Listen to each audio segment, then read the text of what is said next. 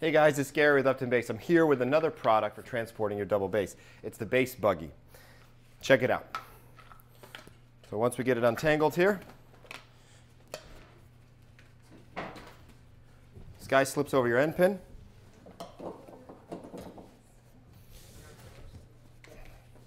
Strap straight up the side. Bungee, bungee around the neck. Back here. Hold the bungee in place. That's pretty much it. Now the bass is ready to move around. So there it is on the bass. One cool thing is you can actually stand your bass up. I would not leave my bass standing like so. I think uh, knowing the city, a bus driving by or something, easily can send this guy going. But it is great as long as you stay near the bass.